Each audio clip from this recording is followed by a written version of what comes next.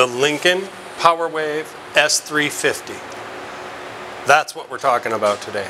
We're going to talk about basic operation, getting this thing set up for your first few days when you get in the booth, okay? I say basic operation on this machine because these machines are extremely sophisticated machine with capabilities far beyond what you're going to use in school. So we're going to talk about how to set it up, the program, how to get ready for it.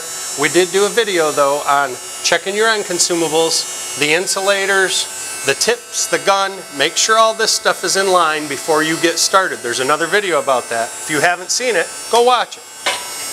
Today we're going to talk about basic setup for what you're going to do, the type of welding you're going to do in class here. This is MIG welding, gas metal arc welding. However, we have three different types of gas metal arc welding. Three different types of metal transfer. One is short circuit MIG welding, one is spray transfer, and one is pulse spray transfer, and you're going to learn them all. So, we get started here. We're looking around, the wire is coming off the end, feeding in like we showed you in the other video. We don't want this wire coming off from the top and doing that bend. We want a nice transition. We have our gas line. Gas line's got to go in. Turn the gas on. Boom. Power's on. Ground clamps on. We're ready to turn this puppy on and start setting it up for the weld we're going to be doing. So if you come down here and look at this interface, and just remember, these computers in these machines are very sophisticated. They take a little time. So when you first start it up and it does nothing, don't worry about it. It's going to do a couple weird blinky blinkies here. It's going to turn on and shut off. It's just booting up just like your computer because that's what it is. Now this part is the wire feeder. This is the power supply. These two talk to each other constantly. But there are no adjustments on the power supply, just the on-off switch. Everything is controlled with this. And we go pow, pow, pow. And these numbers are going to light up here in just a second. I was trying to time that out. We let it come up, boot up, and here's what we end up with. Now when I say that this is a sophisticated machine, I'm not kidding. Take all these controls out of there for a moment and we're going to focus on these three. So this is our amperage or wire feed speed and your wire feed and your amperage are directly correlated. When you increase wire feed speed, your amperage goes up. It's not a one-to-one -one correlation, but when you increase wire, amperage goes up. When you decrease wire, amperage goes up. Now over here, we have a V for volts. This is our voltage, this is our amperage.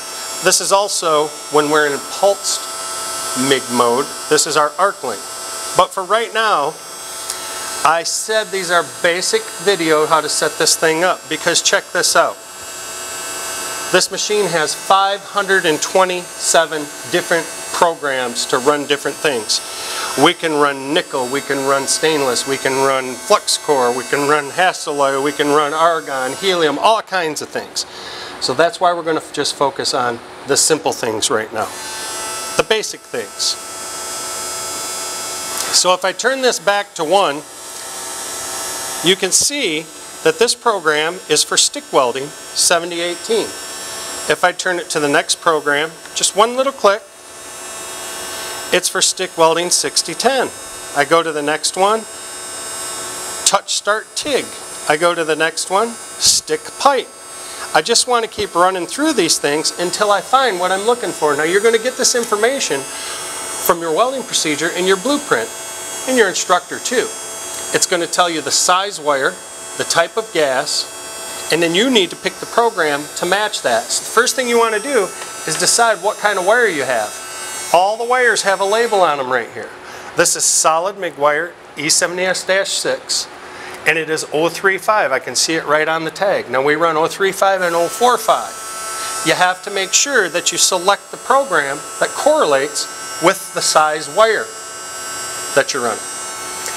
The gas, I chose 7525. That's mostly the gas that we use. But if you look on here, if I go to another program, this is exactly the same thing. We're welding steel with 035 wire, constant voltage, but it says CO2. That means program 10 uses CO2 to do short circuit MIG welding on steel. If I click it one more, now we're welding steel 035 constant voltage with an argon mix. And that's what I plugged into. I plugged into a 75% argon, 25% CO2. So that's the program that I want to run. You want to be very careful when you're selecting this and make sure that the gas and the wire correlate with the program because if I go just one more, now I'm running a pulse argon mix with 035 steel. So it's sometimes confusing. You got to really pay attention. Or I can go one more and it's a rapid arc with 035. Or I can go a couple of them up and we're at the same thing. Steel, CO2, or steel argon mix. But look, the 045 changed. It went from 35 to 45. If you're trying to weld with 45 thousandths wire and you have the program set on 35 thousandths wire, it is not going to work very well. So the first thing you want to do when you get in here is check your procedure, check your print, make sure that the wire and the gas are what you are selecting the program on. Now one more thing. This is our wire feed speed, this is our voltage. If we look at this, we can turn voltage up and down. This red line that's jumping up is telling us the machine's saying you're a little bit low. That's a little bit low for suggested of how much wire feed speed we're running. If I turn it too high, it's saying it's a little bit too high. You can adjust these yourself to make the machine run good, but we want to set this thing up to where it's sitting in the middle. The only other thing I really want to show you is when I increase my amperage or my wire feed speed, same thing, Watch what happens to the voltage. So what this is called is a synergic control. We're controlling one and the machine is automatically raising the other one and we can just keep going with this thing. We can go, uh, this machine is capable of 815 inches a minute of wire and 32 volts.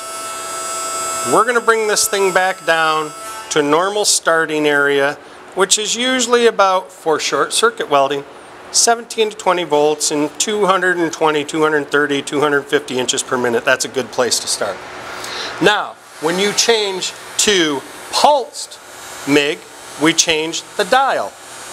And if we look here, now this says 035 steel pulsed argon mix. However, that argon mix that you need to do that pulse welding is different than the argon mix that we have on there. And that will say that on your procedure. The machine is pretty simple. Trust me, your instructor can take you deep into this machine and all kinds of things that it's capable of doing. But for you right now, just getting started, short circuit, steel, we're going to come to program 11. We're going to start, you know, somewhere in the 18 to 20 volts and the 230 to 250 inches per minute. 75-25 gas, unless your procedure otherwise specifies which gas. And that is a really good starting spot for the basic operation of the S350 Lincoln.